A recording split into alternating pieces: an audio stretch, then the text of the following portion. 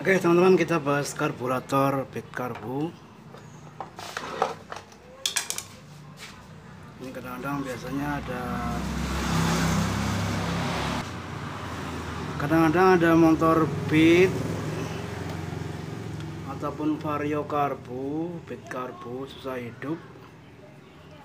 Biasanya disebabkan karena karetnya ini Bukan karetnya ya yang berputar itu sebetulnya skepnya ya teman-teman karena karetnya kendor itu bisa berputar sehingga lubang hisap karet vakumnya itu pindah tidak menghadap ke intake manifold jadi seperti itu ya teman-teman. Kita buka saja ini kita amati ya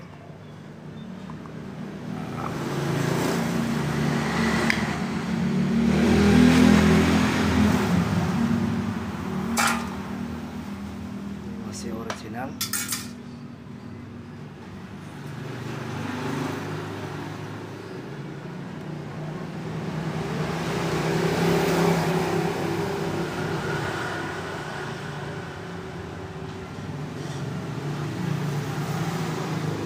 Oke nanti saya gunakan bantuan senter ya teman-teman biar kelihatan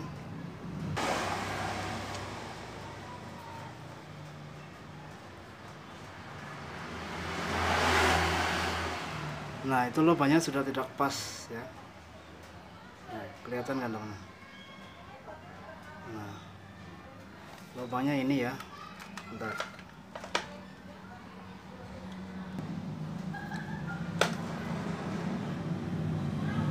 Nah lubangnya di sebelah sini ya teman-teman.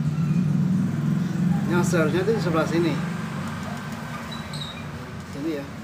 Persis menghadap intake manifold kita periksa saja. Nah ini kan. Seharusnya kan dia seperti ini. Nah persis menghadap manifold ada di berada di depan seperti ini. Nah. Oke, seharusnya dia seperti ini ya teman-teman. Dan tadi berada di sini ya. Sini kurang sebelah sini ya. Jadi yang berputar itu skep terhadap karetnya ya teman jadi ini bisa diputar. Ini seharusnya bagusnya sih ganti skep dengan karetnya ini ke satu set. Guys jadi kita paskan lagi ya. Nah ini kan bisa berputar. Ini yang menyebabkan kadang-kadang motor susah hidup ya terus tarikannya juga lelet ya. Ini penyebabnya karena dia lubang hisap vakum ini lubang hisap vakum ini tidak berada tepat di depan ya. Ini ya karetnya bisa muter ini. Oke untuk solusi murah tanpa mengganti karet ini ya. Tanpa mengganti skep ini kita gunakan o-ring tutup klep grand ya. Kita nanti letakkan di sini. Jadi kita setting dulu seperti ini. Kita paskan dengan ini locknya terhadap ini ya. Ini. Nah ini lubangnya kita paskan. Kita putar. Kita paskan di sini. Oke kurang kita putar kebalikannya.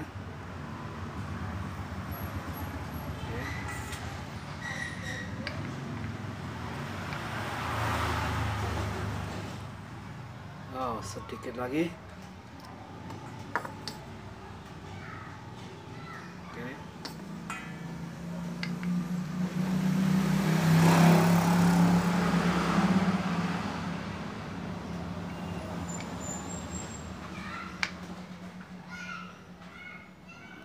seperti ini ya. Nih, sudah pas ini lubangnya di sini ya teman-teman.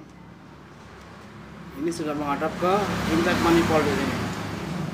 Kalau tadi dia berada di sini lubangnya.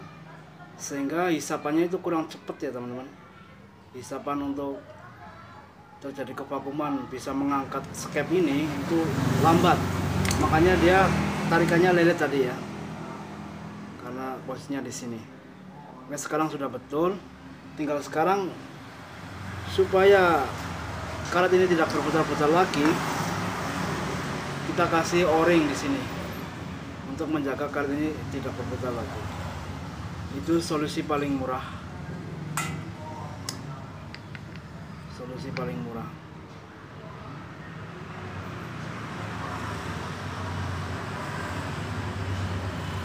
Oke sudah pas kita tinggal cari o-ringnya ini seperti ini ya teman-teman. Oke kita lock menggunakan o-ring. Hmm, seperti ini ya.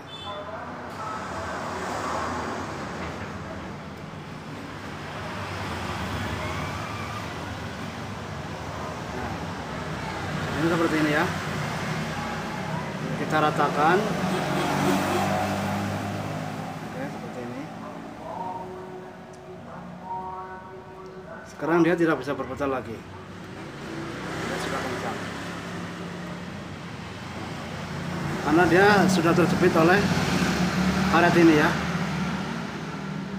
Di samping juga di samping itu juga karet ini dapat uh, menjadikan vakum ini tidak bocor ya. Makanya itu hisapannya nanti akan cepat makanya tarikannya nanti bisa spontan.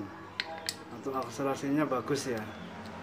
Ini adalah penyakit yang sering terjadi pada motor beat karbu dan vario karbu ya teman-teman. Oke pas. Jadi seperti itu ya teman-teman untuk share kali ini.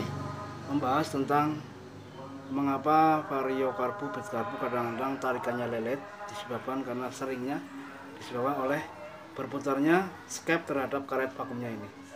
Dan untuk solusinya yang murah meriah adalah menggunakan o-ring tutup klep grand.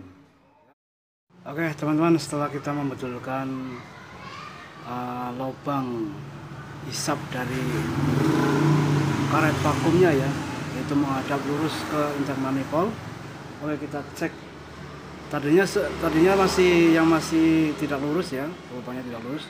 Itu kalau bisa harus 4 5 kali baru hidup ya. Sekarang setelah kita luruskan lubang manifoldnya maksud saya lubang hisap dari karet membrannya itu ya yang tadi saya tunjukkan. Dan kemudian untuk mencegah berputar kembali kita kasih o-ring yaitu bebas lah yang penting o-ring yang pas ya teman-teman biasanya saya menggunakan uh, o-ring tutup motor grand ya biasanya. Dan alhamdulillah sekarang di setelah sudah enak. Satu kali sudah hidup ya teman kita coba saja.